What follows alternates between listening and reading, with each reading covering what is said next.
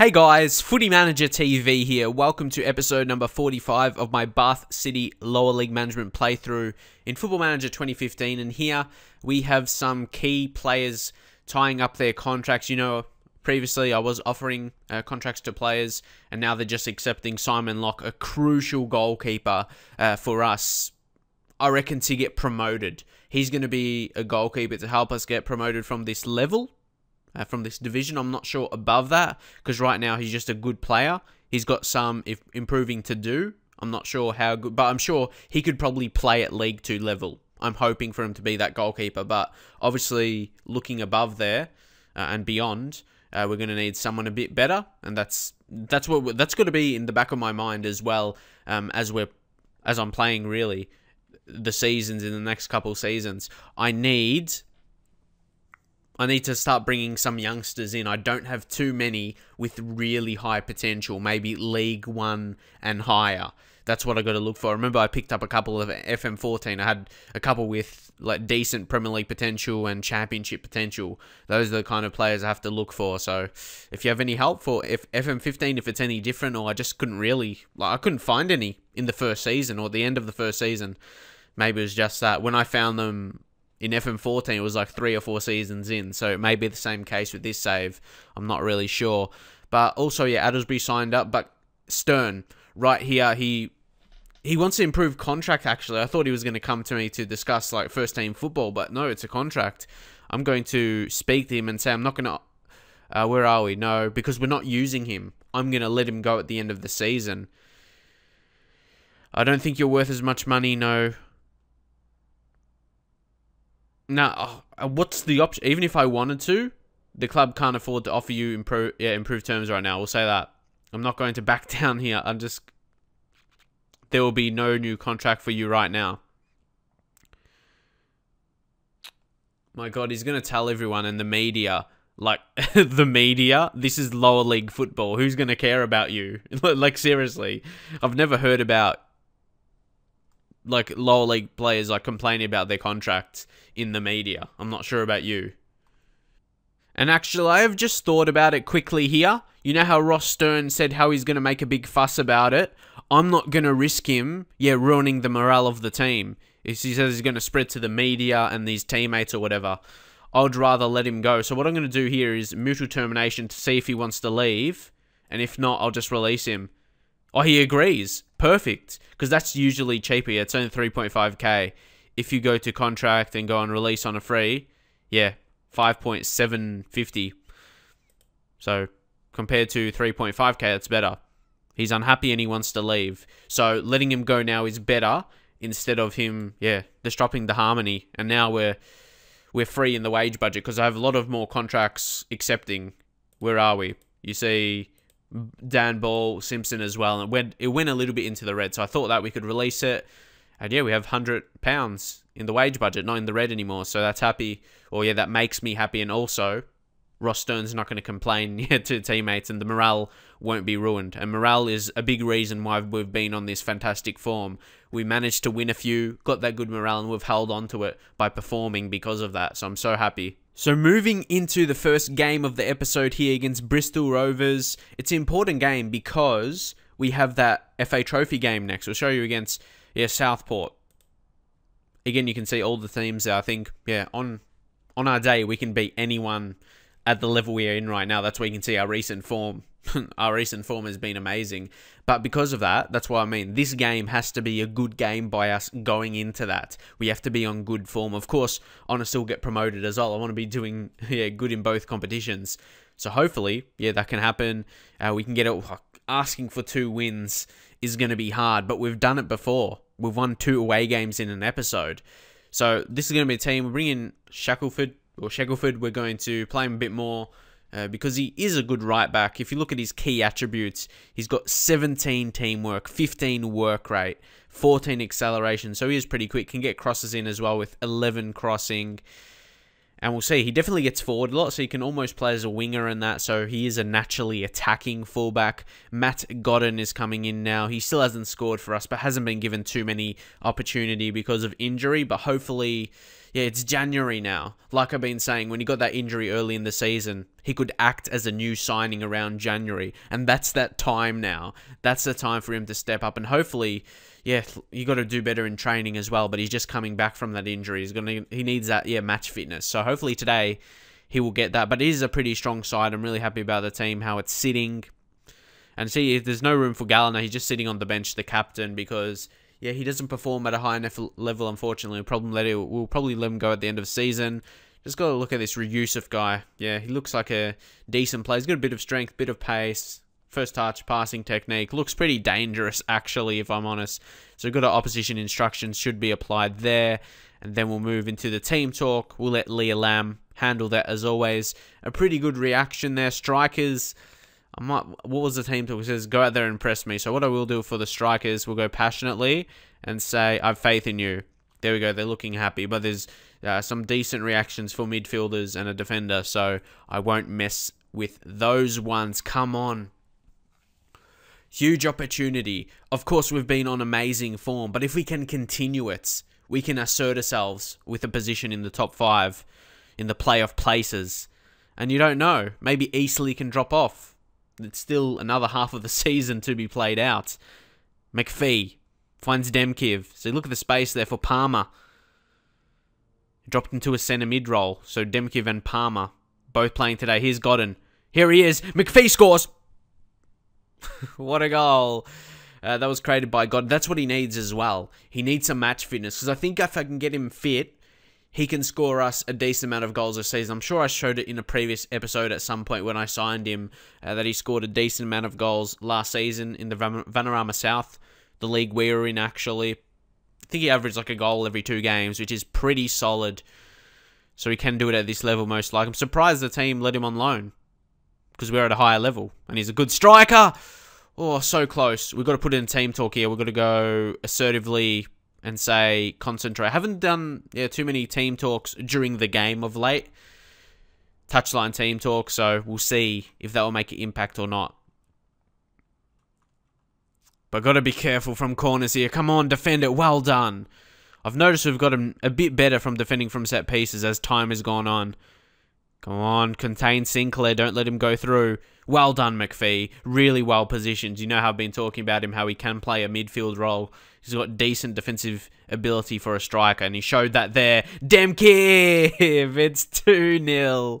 Come on, Dan. Dem. Oh, no way. Why does it take so long? I hate this, man. Like, because it was so. okay. Okay, yeah, it was close. Because look at that. It was pretty tight. It was hard to tell in 2D in first look anyway, because yeah, really disappointing. It was offside. It was it was close. But oh man, I was so excited. I thought, yeah, like in my head there, I thought we are gonna win for sure after that goal was scored, but then it said it was offside. Very disappointing. And it was a close call. But here's Clark. I I would have hated that if they score there. That's why I hate when I get an offside call. That was a goal, and then yeah, they go and score. But hopefully, can hold on, go into half time, 1 0. We'll maintain the same way we're playing, like controlling the possession, or at least attempting to. Probably not completely dominating the possession, but just the style we're playing, approaching going forward. But anyway, we'll say assertively and say don't get complacent. Solid reactions, no confused reactions. I absolutely hate that. But but it's happened before where I get amazing reaction like that, like that when I'm winning like 1 0 or whatever, say don't get complacent, and I score right, or I concede right away, not score. But maybe it can be different this time around. Mildenhall, or make the error. Palmer!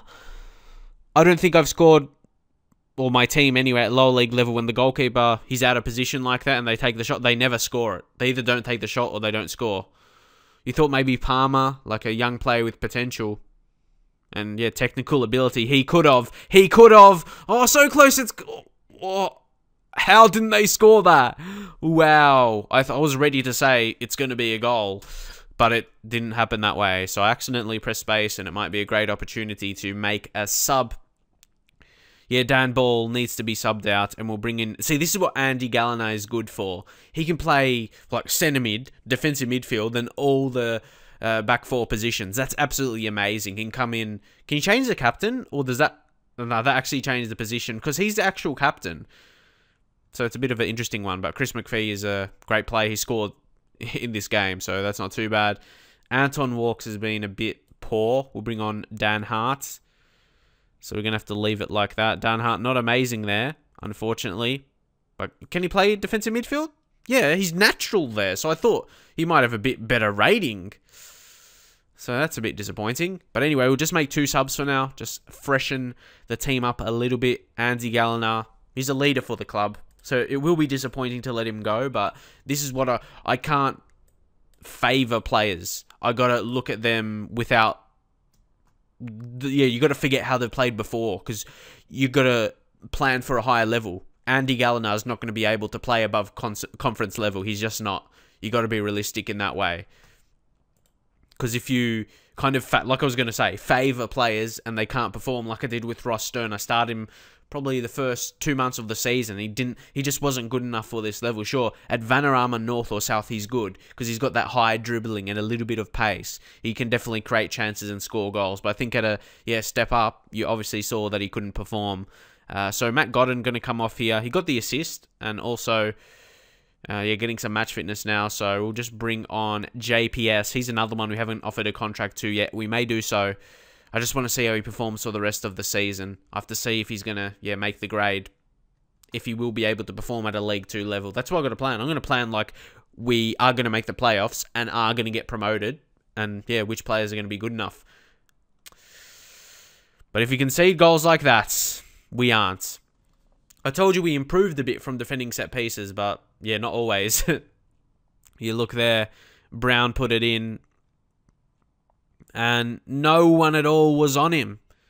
Where's the tight marking? So here we're just going to go, might as well go for it. Might as well go attacking, maybe in a, a bit more fluid for the last five minutes, I suppose.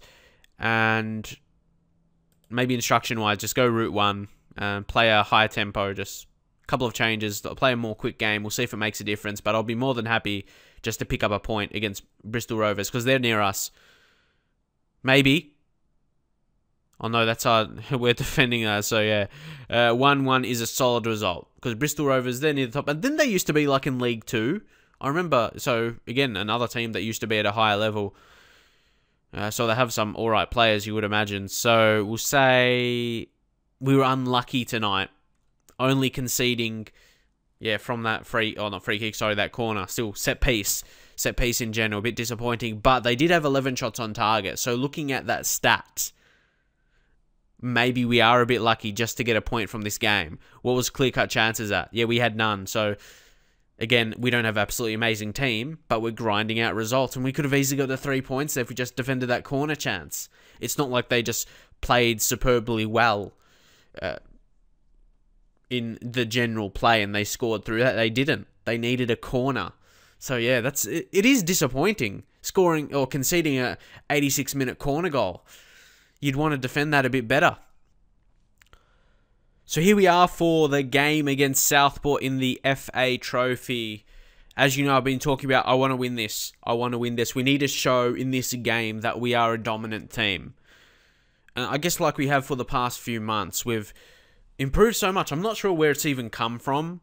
You know, I've been talking about. Some people said change tactics when things were going bad. I didn't change tactics. I didn't really change my players too much. I may have made one or two signings, but surely that's. What do you think the difference is? it's hard for me to put my finger on it as well, but yeah, leave your thoughts.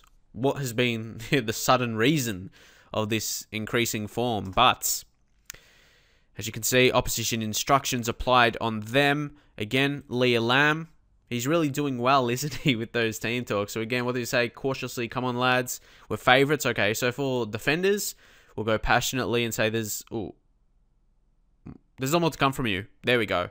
Yeah, that's solid reactions. David Pratt is back in starting. Uh, Dan Hart as well, so that means Addersbury will come in, the box-to-box midfielder. You know he flourishes in that. Dan Bull has got five assists this season from left back. He's been very, very good. I'm starting. I've always liked him ever since my FM14 save, more or less from the start of that. He impressed me. So ever since then, I've liked him as a player, and he's offside there, which is pretty strange for a left back. And then James Ball. there was two balls offside in the first two minutes.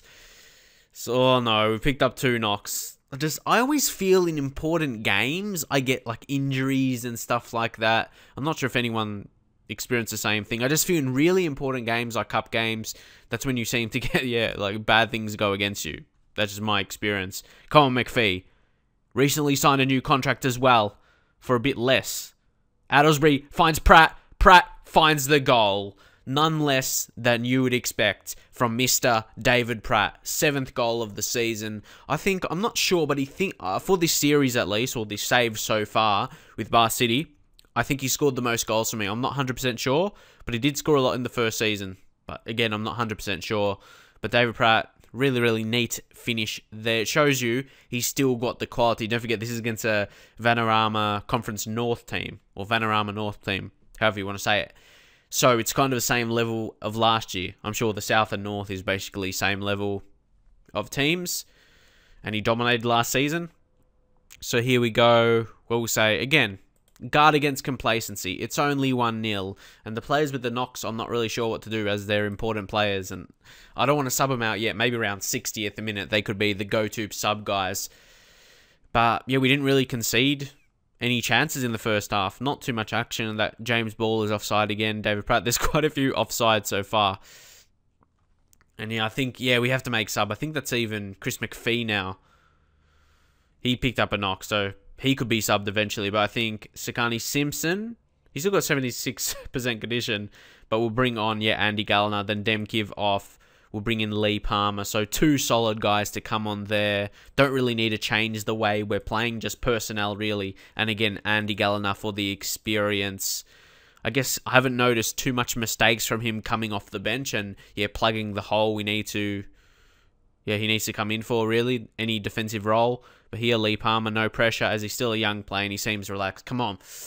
Half an hour to be played. Hopefully they're not big injuries, because as I said, two important players. But Evans puts it in here. It's Walker, and it's not over yet. It is not. See, as soon as I made the subs, I concede. Does that make sense? I'm not. Oh. Like, come on, defend set pieces. See, this is the thing I want to let you know. I was working on defending set pieces for quite a while, but then, yeah, I said to myself, I've been working on this for so long, let's work on attacking for this game or something. So, do you have to keep working on it? Like you can't work on anything else so you don't concede? I don't know.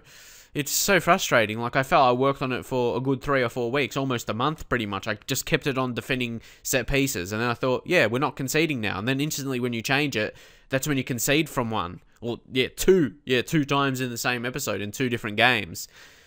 It's pretty annoying uh, for mine, but David Pratt scored well, that's a hard one because Chris McPhee, he's he, he's perfect for that deep lying forward role. So we're just going to still take Pratt off. We have to really. That's all I can say because JPS, we got to maybe he, his pace might tell here against a Vanarama North team. That's what I'm hoping for anyway. A draw wouldn't be terrible because then I think we'll play a replay. It won't be extra time and we'll go home. Might be a good chance, but not if we concede again from a set piece. And what I just talked about no, oh man. I was going to say, like, if we're going to lose against this team, we'll be so wrong. It will be so wrong. Come on, get rid of it.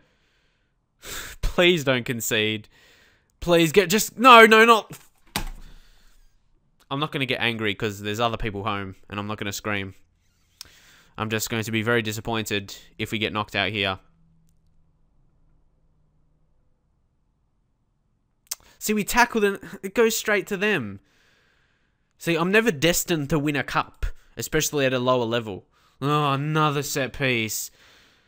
Oh. And they're going to get it. They're going to... Uh, this is very disappointing. I might as well see what happens here. Maybe JPS. Look. Look. McPhee. How much space do you need to be in to score, man? How much space do you need to be in?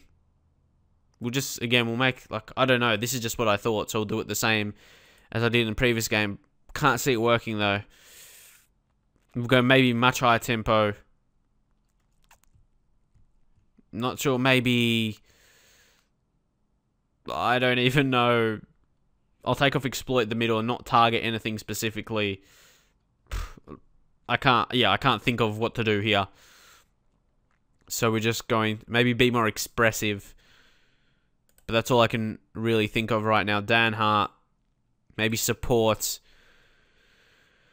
Yeah, maybe the fullbacks on attack, get forward a bit more, but it's too late. I feel because you're just gonna have maybe one chance, or it's just gonna be a time where the game just wants to end its. But maybe it'll be one of those occasions where we could get a goal back. JPS. Fuck. Are you serious? Why did he waste that chance? Oh, I wanted to win this. How do we lose against a team in a league below us? When we've been on amazing form. I thought for me, cups are always fishy. It always feels just yeah, whatever is going to happen. And like, why does he just give it straight to them? Very frustrating game. And it's going to end here. They've had a lot of free kicks, though. That's something I've noticed. So, like I said, yeah, those kind of things that happen. And it's not like they're even a dominant team. I'll probably show you after this game because I'm trying to figure out why we're going to lose here. Unless we can get something late.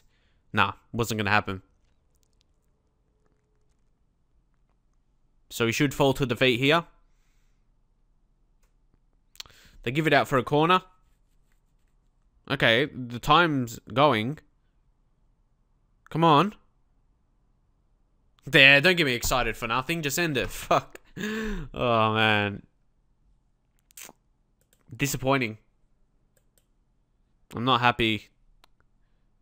Fine, a couple players get disappointed, but I don't really care, to be honest. Uh, it's just frustrating. And it's demotivating because our finances, like, I, I don't get it. They've hardly got many players as well. They're 16th in the Vanarama North. They've only won seven games this season. Come on. But either way, guys, I told you I knew it was going to be a hard episode with two away games. Two away games is never going to be easy. Maybe yeah, Southport had the home advantage, and maybe they were due to get a win as well. Maybe in the league they're losing a lot, and it was just a, a, a good time for them. They were due to win or something. I'm just trying to find a reason why we lost it, uh, because we were on excellent form. Like we got a draw against Bristol Rovers, and of course they scored their goal from a corner. Don't forget, not in open play, and they're in. Where are they? They're tenth, so they're around mid-table in this division. But we lost against a team that's 16th in the league below this. So that's a bit frustrating to take. Um, I know it's possible, of course. It just it's it it frustrating. It's frustrating more than anything to take. But anyway, if you're liking me just recording all these games right now, but because I'm out of the cup, I have a kind of urge to just play a lot of games because I know I keep getting like uh, suggested. I'll say I'll say suggested by people uh, to play a bit more off camera. Obviously, I've mentioned that a few times, and I kind of feel like doing it today after this recorded game. I feel when I'm knockout knocked out of all cups at this level, there's not much else to achieve the rest of the season. Obviously, it's just you're playing the games. Like I could play the rest of the season off camera and just see if I'm going to be in playoffs or not, and then I'll play the playoffs if I am there. I could potentially do that because I'm kind of in the mood after this just to sit back and chill, play Football Manager without yeah worrying about recording or something like that. Just enjoy the game, focus on it more, and I might get better results. well, saying that we've been on a good run. So either way, I'm going to say in this video, um, if you'd like that, but I, I, I, might do it before I even upload this video. Like I said, after I finish recording this, I'm just going to sit back and chill and most likely play. So yeah, maybe wish me luck uh, to get in the playoff positions. And if I do, if I do get in the playoff positions, you will see that. Uh, so yeah, not in the cup anymore. It's a bit disappointing. I may do a video if I get in or um, the region update. Uh, we'll see anyway how it goes. But hopefully you enjoy this series and drop a like, and I'll see you guys next time.